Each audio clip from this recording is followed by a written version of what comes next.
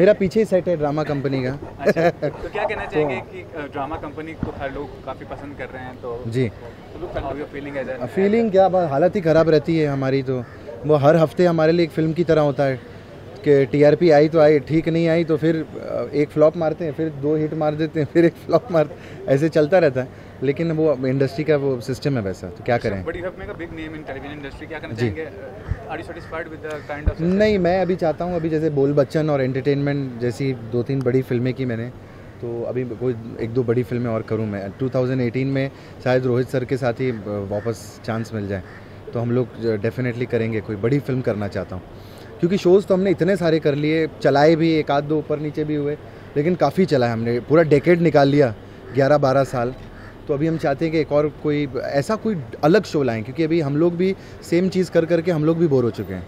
हम भी चाहते हैं कोई नया कॉन्सेप्ट लेकर आए हम लोग। तो कृष्ण ये कहना चाहूँगा कि कॉमेडी शो होस्ट करना और फ़िल्म स्टार बनना दोनों में क्या अलग टैलेंट क्वेश्चन होता कोई आजकल अलग नहीं सब आजकल सारे फ़िल्म वाले टीवी पर हैं टीवी वाले फ़िल्मों में हीरो बन रहे हैं। एक से एक फ़िल्में आई जा रही हैं सुशांत की हो किसी की भी हो तो डिफरेंस कोई नहीं है। लेकिन कृष्ण ये कहना चाहूँगा कपिल ने टेलीविज़न पे इतना बड़ा नाम किया लेकिन फ़िल्मों में वो नहीं चल पा रहे तो उसके बारे में क्या नहीं नहीं ऐसा कुछ नहीं चल नहीं कैसे वो एक पिक्चर बस प्रॉब्लम हो गई लेकिन कोई बात नहीं फिर से उसकी कोई फ़िल्म आ जाएगी वो फिर हिट मार देगा। ऊपर नीचे तो चलता रहता है और टैलेंटेड तो है कपिल। और टैलेंट्स के साथ साथ ब्रेन ही भी बहुत हैं। तो हो जाता है कभी कभी ऊपर नीचे गलतियाँ बड़े बड़े लोगों की फ़िल्म नहीं चलती। तो ऐसी कोई बात नहीं है कि टैलेंट नहीं है या चला नहीं लेकिन मुझे लगता है वापस आ जाएगा कोई अच्छी फ़िल्म लेके। लेकिन आप इतना सक्सेसफुल होकर भी बहुत हम्बल हैं काफ़ी मतलब सुकून में रहते हैं। क्योंकि घर में फैमिली ऐसी है ना गोविंदा जी को हमने बचपन से देखा हुआ है। तो हमने खुद के टेलीविज़न के स्टारडम के साथ क्या बोलते हैं उनका एक बड़े स्टार का अप्स एंड डाउन्स लाइफ में बहुत देखे हैं। तो हमें पता है कि हम्बल और प्यार से काम करने से ही सब सही रहता है।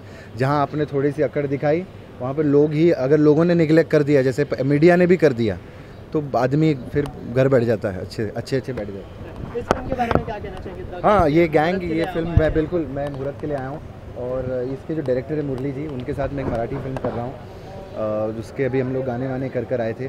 लेकिन बहुत कमाल की बात है वो ख़त्म नहीं हुई और इन्होंने दूसरी शुरू कर दी। तो मैं गुड लक देने के लिए आया हूँ पूरी टीम को।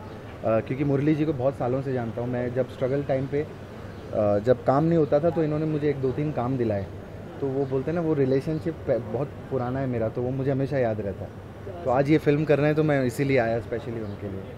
सलमान का जन्मदिन भी आने वाला है। हाँ मैं जाऊँगा मैं जाऊँगा। अभी पार्टी होगी उनके यहाँ आज रात को। तो वही तैयारी है। हर साल मैं जाता हूँ। तो इन्जॉय करते हैं क्योंकि उनके साथ तो मैं इतना इस साल मैं बिग बॉस नहीं कर पाया उनके साथ क्योंकि मैं कलर्स पे नहीं था मैं सोनी पे हूँ। तो नहीं तो मैं हर साल बिग बॉस जाता था।